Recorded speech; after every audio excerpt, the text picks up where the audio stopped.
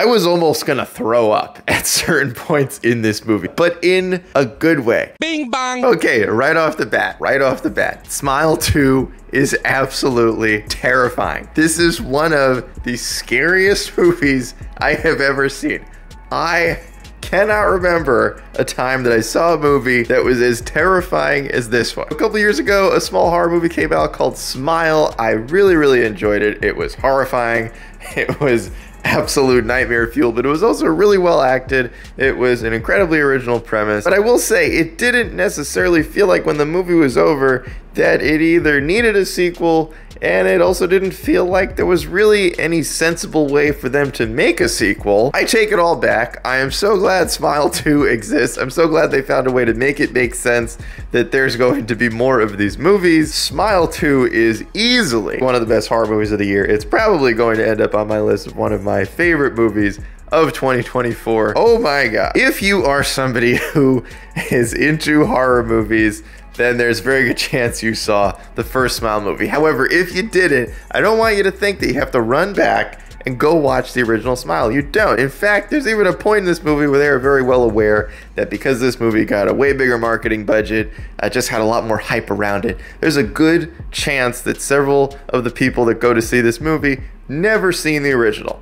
And I'm here to tell you that if you've not seen the first Smile movie, do not worry. Not only do you not need to see it, but it doesn't really relate to the sequel at all. There's none of the same characters. It doesn't take place in the same city or anything like that. It follows a totally new plot and a totally new premise, but the scares I mean, when it comes to sequels, especially horror movie sequels, ones that are coming from films that were small and maybe didn't get as much traction, even though the first Smile movie ended up becoming sort of a cult classic.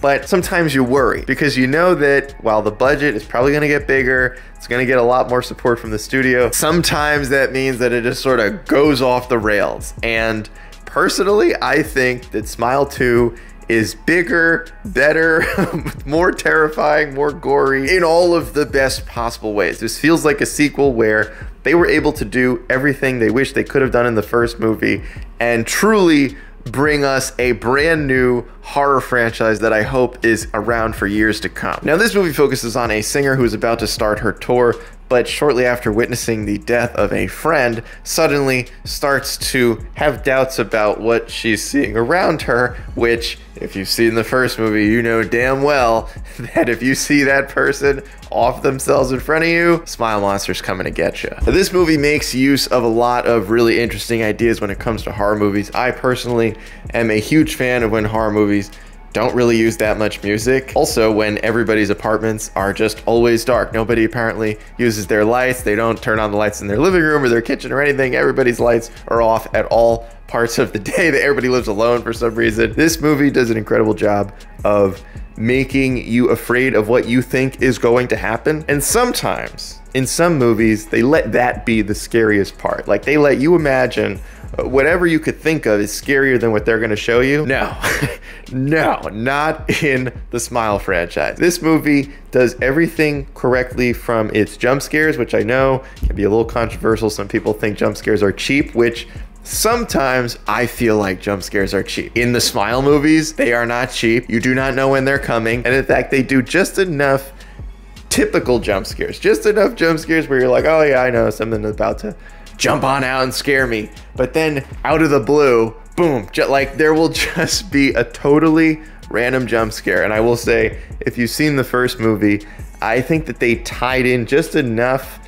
uh, little Easter eggs and things that they did in the first movie that they brought back in this one, which, you know, again, is one of those things that could kind of go either way. But with Smile 2, they're bringing back all of the stuff that worked really well. Some of the smartest ideas that they utilized in the first movie, they do them again here.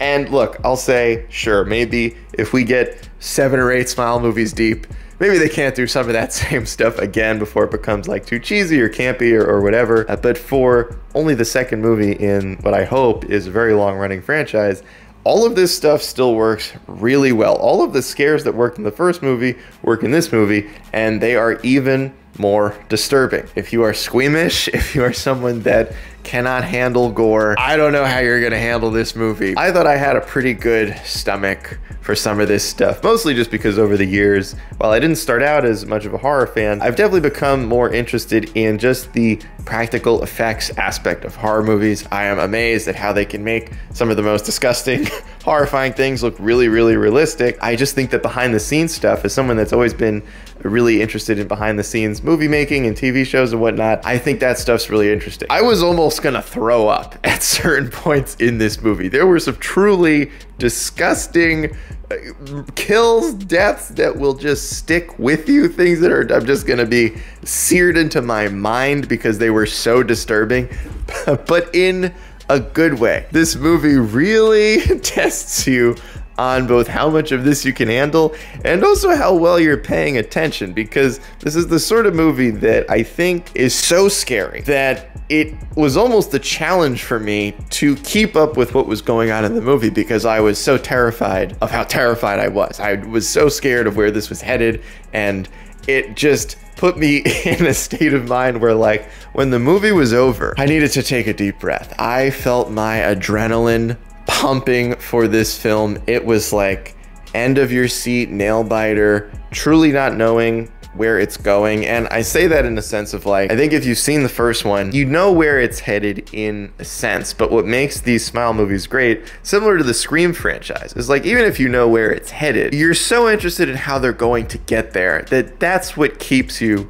fascinated in the story throughout. Aside from all of the scares, it's just a really compelling story. And I think that's another thing that horror movies sometimes struggle with. Like, do you balance, we just make it super scary, but then people don't really remember what the movie was about?